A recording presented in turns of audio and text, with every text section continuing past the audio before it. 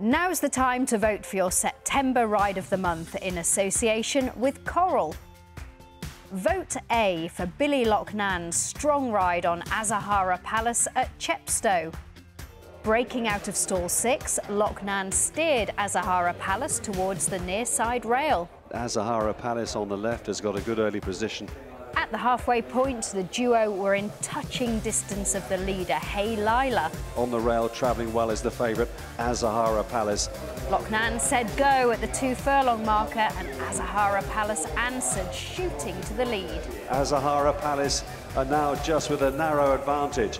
And despite serious pressure from Richard Kingscote and his mount, Loughnan was the stronger, guiding Azahara Palace to a fantastic third successive win at Chepstow. Half a furlong left, and on the near side, Azahara Palace digging deep there to hold off, and Monty Be Quick and does so. Wins again in gutsy fashion. Vote B for Saffie Osborne's terrific ride aboard Dark Trooper at Ascot. A slow break meant the pair found themselves at the rear with them all to pass. Six furlongs in front of them for the Fever Tree Handicap Stakes. With the stretched field levelling out, Osborne positioned her mount on the inside. Racing inside the final quarter mile, and it's still blind beggar at the moment. As the final furlong approached, Osborne stepped on the gas. Vicente coming into it, and so too Dark Trooper towards the stand side. And there was no stopping the son of Dark Angel, with Dark Trooper flying home commandingly to make it four wins in a row. Redemption time from Dark Trooper and Vicento. It's Dark Trooper getting up near side. Dark Trooper! Vote C for William Buick's superb effort on Chic Colombine at Doncaster. Chic Colombine came into the race as favourite, but Buick and the two-year-old found themselves locked in at the back early on. Chic Colombine is on the far side of the group and again one of the back markers. With the race hotting up, Buick had it all to do. Chic Colombine's going to have to really pick up from there. But when Buick pressed the button, his mount responded. Now, at last, Chic Colombine moving into top gear. The late charge, timed to perfection, saw the duo land the spoils in the final strides. Heritage House with Chic Colombine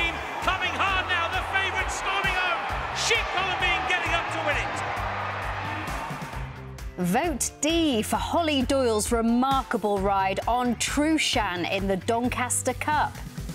Trueshan, returning to action after a wind-up and a spell on the sidelines, showed his exuberance from the off. See old Trueshan just tossing his head around gently in the hands of Holly Doyle. I'm sure Holly would be grateful if he would just drop his head slightly.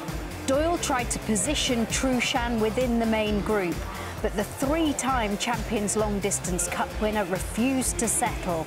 This steady gallop doesn't seem to be suiting Trueshan, who's now really set himself alight.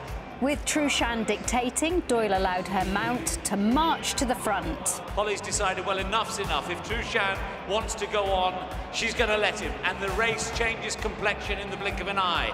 With half a mile to go, Doyle guided Trueshan to the middle of the track. Trueshan has developed a big lead, but how much energy has he got left, having pulled throughout?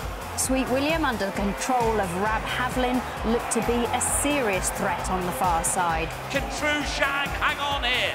But Doyle's tactics paid off and Trueshan bounced back to form in incredible fashion. Sweet William falters and Trueshan finds something more! Trueshan roared home here by the crowd! Done it! Trueshan did most things wrong, but still wins a famous Doncaster Cup in the hands of Holly Doyle.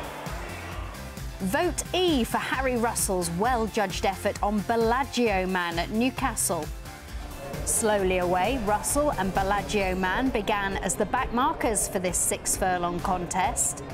Two furlongs out, the pair had it all to do with most of the field out in front. Bellagio Man well back, so too Pocket the Packet. But inside the final furlong, Bellagio Man started to pick up. Bellagio Man trying to finish, but it's Golden Duke. And the duo kept going, picking off the protagonists to storm clear and grab the win. Bellagio Man's finishing with a real rush towards the far side. Bellagio Man starting to get there. Oh, it's desperate. Simply visit at theraces.com forward slash ride or scan the QR code to cast your vote and be in with a chance of winning a £100 or Euro funded betting account courtesy of Coral. Voting closes at 11pm on Thursday, the 12th of October.